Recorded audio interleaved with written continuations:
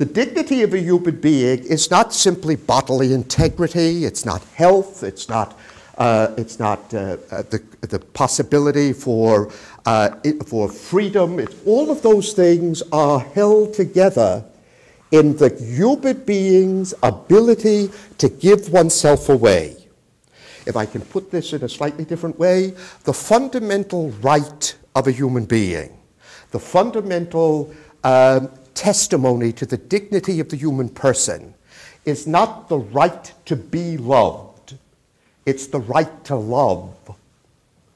It's the capacity of every human being to give himself or herself away. That's why human beings must have freedom of speech. That's why they must have freedom of assembly. That's why they must have freedom of movement. Because without them, they cannot give themselves away totally and richly to others. It's the capacity to give oneself away.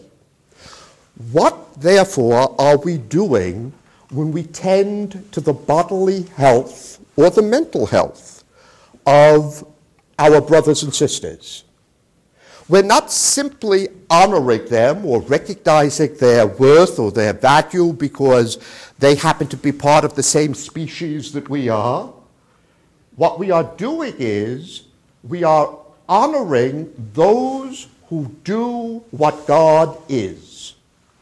God is love. We get to do what God is. We get to enact love.